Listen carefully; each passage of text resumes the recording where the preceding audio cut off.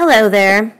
Today we're going to be doing lesson 2.9, multiplicative comparison number stories. And yes, I know that word is hard to say. I have trouble saying it. So let's take a look at our math message today. You'll notice that I have two problems for you to look at. Problem A states Linda sold nine bookmarks. Paul sold eight more than Linda. How many did Paul sell? So in your notes, I want you to just write problem A and give me an answer. Problem B. Linda sold nine bookmarks. Paul sold eight times as many. How many did Paul sell? Again, you're going to write problem B and give me an answer. Now, I hope as you were listening and reading both of those problems, you noticed that they looked very similar. They're using the same numbers in both problems, the same names, but the wording is just slightly different.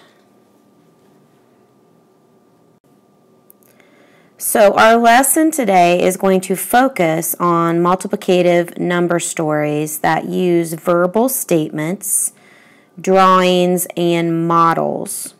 So we might see in our problem a phrase or a statement like what you see here in green around here Notice the first one says blank times as long.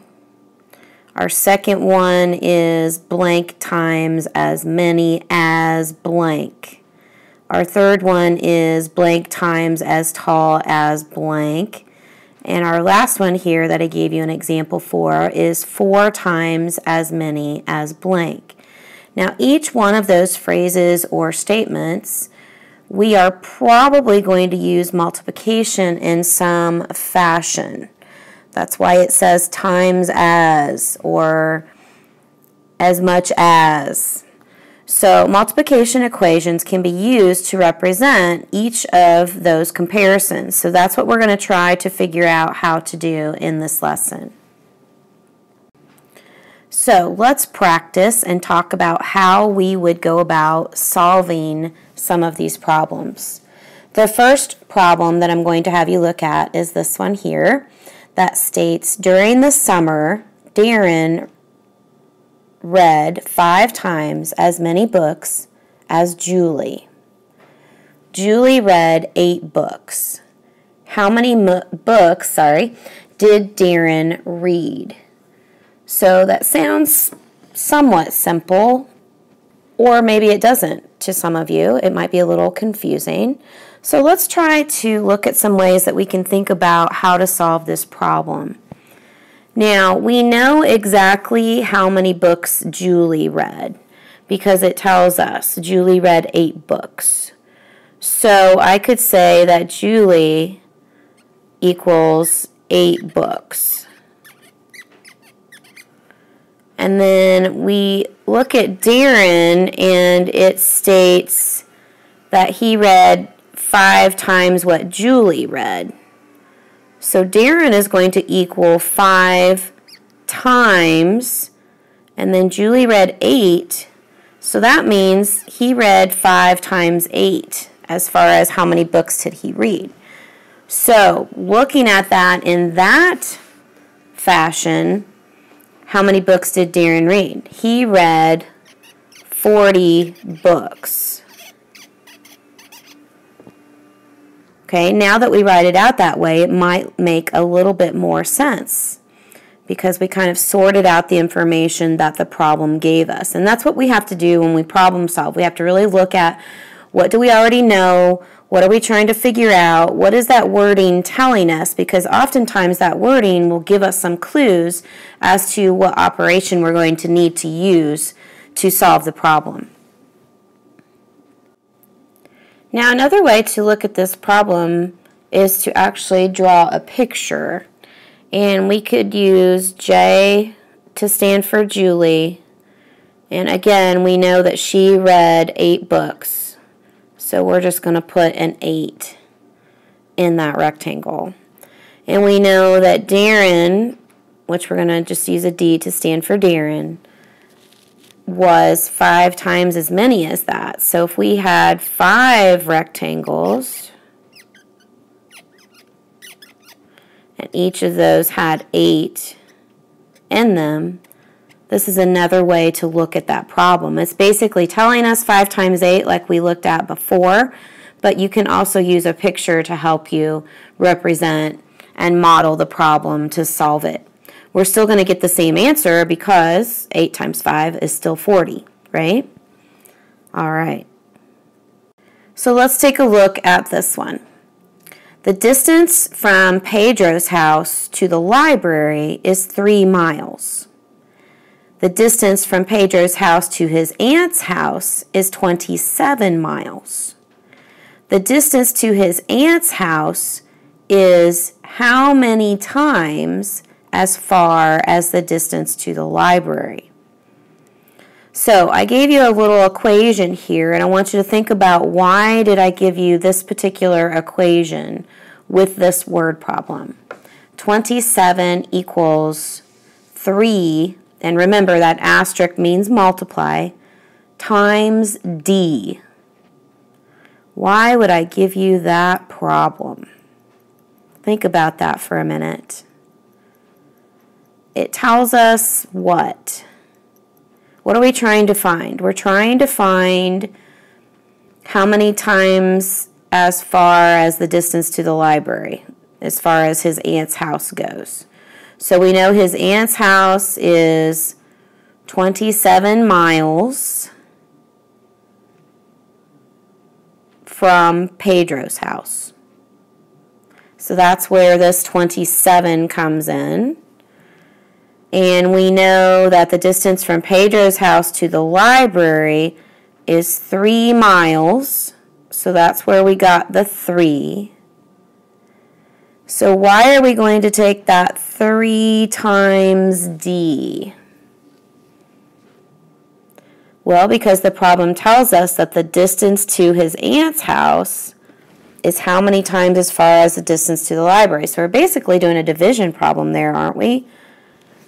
Because we have 27 miles and we have 3 miles. I'm showing you in multiplication, but we could actually use division to solve this because 27 divided by 3, or we could write it like this, equals what? That basically means 3 times something is going to give us 27. Isn't that what this is telling us right there? 27 equals 3 times D. We have an unknown, which is that letter D in our equation. It's my question mark down below. So if we know our multiplication facts and we know our threes, we know that the answer to this problem would be 9 because 3 times 9 equals 27. So this type of problem is a little bit tricky because the wording is almost backwards. At least that's the way when I look at it, how I think. It seems backwards the way that they word it, and it's worded in a way that kind of confuses you, and you really have to think and kind of take it apart to solve the problem. So in looking at this problem, another way that we can try to solve it, again, is to use a picture or some kind of model.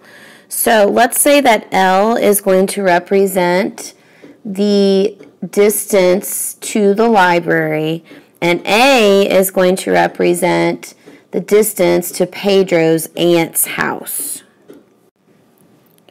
So the distance to the library is three miles. And then the distance to the aunt's house is 27. So basically we're looking at how many threes are going to fit into 27. Or 3 times what equals 27. Again, we're going to look at the different sections And if we were able to bring that 3 down there and fill it in on that 27 and keep adding sections of that, right, we would end up with 9. Now, my diagram might not end up with 9 by the time I get done, but hopefully you'll get the idea that we're going to end up with 9 um, threes. Looks like I need two more there. And I know my rectangles are not the same shape, but you get the right idea, hopefully. So again, I used a model, used a picture to help me figure out how many um, threes would be in 27, or I reversed it and figured out multiplication problem. 3 times what is going to give me 27. But our wording in this problem was interesting, in my opinion, because they used the how many times as far as. And the last problem, they used times as many. So that brings me back to those phrases, those comparison statements that I went over with you at the beginning of the lesson. Those comparison statements are going to help you figure out how you're going to multiply or whether you can use multiplication and division to figure out what that multiplication problem is going to be. So to summarize with this video, we can write multiplication equations to help us solve comparison sentences. We also learned that wording helps us determine what type of equation to write. You rock. Let's bring all of this knowledge to class and we will rock it some more. Thanks, guys.